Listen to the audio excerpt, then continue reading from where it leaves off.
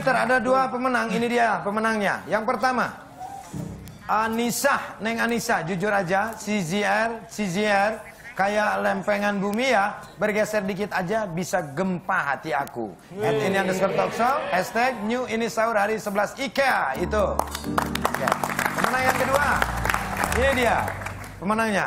Iya, B, ya, ini talk kue cucur di dalam peti, buah talas di dalam laci. Aku jujur dari hati, asri welas yang paling pretty. Oke, hashtag new ini sahur.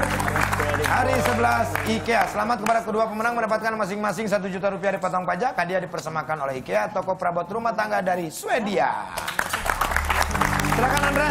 Ya, dan untuk menang Net Connect dengan klub terbanyak adalah Rega. Febrian. ya. Oke, selamat. Selamat mendapatkan hadiah Rp250.000 dipotong pajak. Iya, itu dia ya. Cak, Cak. Ya, Pak Ustadz. Ya. Ini malam kita bicara tentang kejujuran. kejujuran. Nah, ini seperti apa Pak Ustadz? Oh iya, alhamdulillah. Sebelumnya saya sampaikan salam. Salam yang terbaik, salam para malaikat kepada para penghuni surga. Assalamualaikum warahmatullahi wabarakatuh. Warahmatullahi wabarakatuh. Ya, alhamdulillah. Jujur itu kalau kita lihat itu artinya kan tidak berbohong ya, benar. Tetapi kalau lebih luasnya lagi, sifat Rasulullah itu fas, fatonah, amanah, sidik dan tablik. Sidik ini ini adalah menegakkan kebenaran sebetulnya. Jadi orang yang jujur, orang yang selalu menegakkan kebenaran. Dia bukan hanya jujur di perkataannya saja, tetapi juga di perbuatannya. Jadi jujur itu lebih luas lagi. Jadi dia menegakkan semua yang benar. Artinya gini, kalau orang yang jujur melihat sesuatu yang jelek, dia akan juga meluruskannya. melihat sesuatu yang mudorot, dia akan bilang sesuatu itu. Jadi amar ma'ruf nahi mungkar itulah yang ada di dalam sifat orang-orang yang jujur gitu.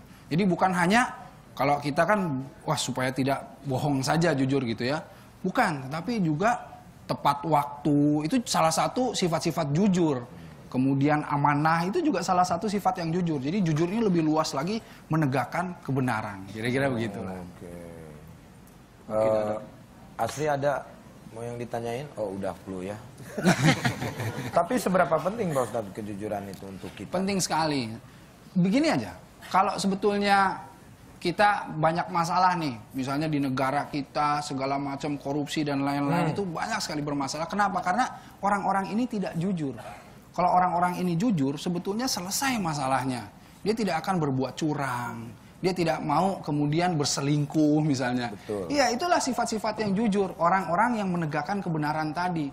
Jadi kalau misalnya kita lihat syahadat, asyhadu alla ilaha illallah wa asyhadu anna muhammad rasulullah, ini kan sebetulnya representasi dari kejujuran itu. Jadi dia itu tahu kalau misalnya berbuat sesuatu yang curang, oh Allah melihat dia. Begitu.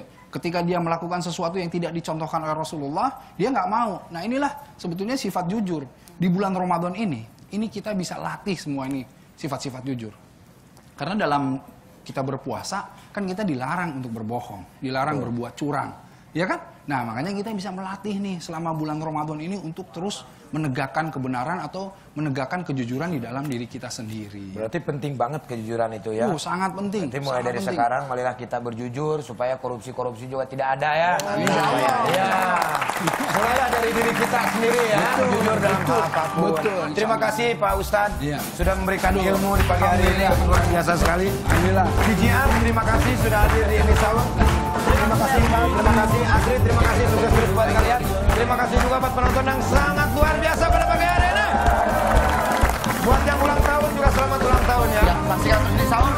setiap hari selama bulan Ramadan jam 2 pagi hanya di net. Iya, tentunya kita akan terus menemani Anda di jam 2 pagi nanti masih tetap di Sahur.